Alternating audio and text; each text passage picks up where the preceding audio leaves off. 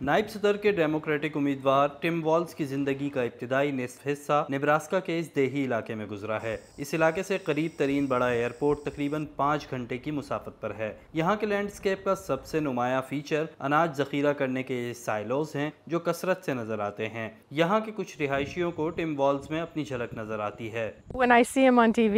انہیں T V پر دیکھ کر میرے ذہن میں سیاست دان کا خیال نہیں آتا۔ وہ مجھے اپنے فیوریٹ اسکول ٹیچر کی طرح لگتے ہیں کیونکہ وہ اپنی کمیونٹی اور اپنے اسٹوڈنٹس کے ساتھ بہت مخلص ہیں۔ وہ بہت اعلیٰ اخلاقی اقدار کے مالک ہیں جو صحیح غلط کا فرق سمجھتے ہیں۔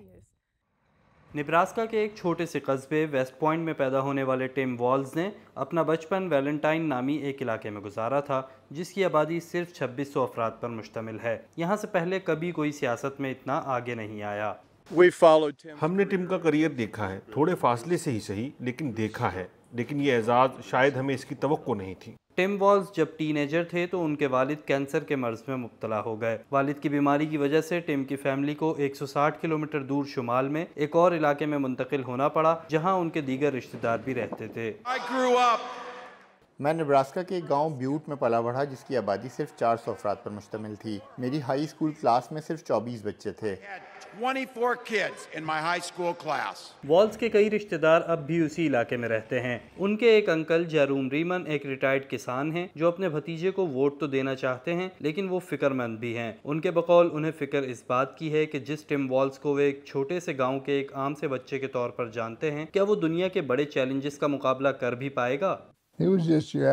وہ ایک عام سا ہی تو بچہ تھا۔ میرا مطلب ہے کہ وہ بہت اچھا لڑکا تھا۔ اسے سپورٹس پسند تھا لیکن پوٹن کے مقابلے کے لیے وہ اتنا سخت نہیں ہے جتنا ہونا چاہیے۔ مجھے اس کی فکر ہے۔ مڈ ویسٹ کے ایک دیہی علاقے میں رہنے والے ٹیم والز مچھلیاں پکڑنے اور شکار کے شوقین بھی ہیں جو بندوقوں سے اپنی محبت چھپاتے نہیں۔ والز کے کیموفلاج ہیڈ کو ڈرٹ روڈ ڈیموکریٹس نے اپنا لیا ہے۔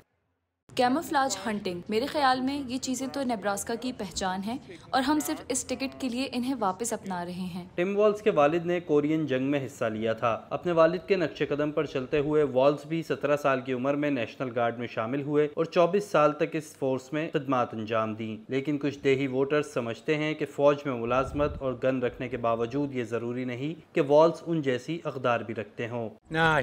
نہیں وہ ہماری اقدار کے قریب بھی نہیں ہے وہ سفید جھوٹ بول رہے ہیں۔ ہتھیار رکھنے کا حق ہمیں سیکنڈ امینڈمنٹ سے ملا ہے۔ میں ان کی بندوق نہیں چھین رہا جیسے وہ ہماری چھیننا چاہتے ہیں۔ والز اسقاط حمل کے حق کی بھی حمایت کرتے ہیں جس نے انہیں قدامت پسند نبراسکا کے بہت سے لوگوں کے مد مقابل لا کھڑا کیا ہے۔ نبراسکا کے بعض گرجا گھروں میں انبورن بچوں کی یادگاریں ہیں اور جگہ جگہ اسقاط حمل کے خلاف بورڈ نظر آتے ہیں۔ میرے لیے سب سے اہم ایشو پرو لائف ہونا ہے۔ میں اسے ہی ووٹ دوں گا جو پرو لائف ہوگا۔ اس لیے والز میرا ووٹ تو نہیں لے پائیں گے۔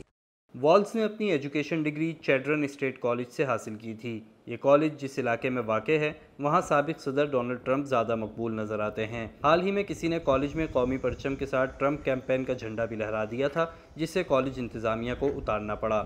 چیڈرن کے رہائشی مائلز بینن کہتے ہیں کہ ٹیم والز کے اس علاقے سے تعلق رکھنے کا یہ مطلب نہیں کہ انہیں یہاں کے لوگوں کی سپورٹ بھی ملے گی۔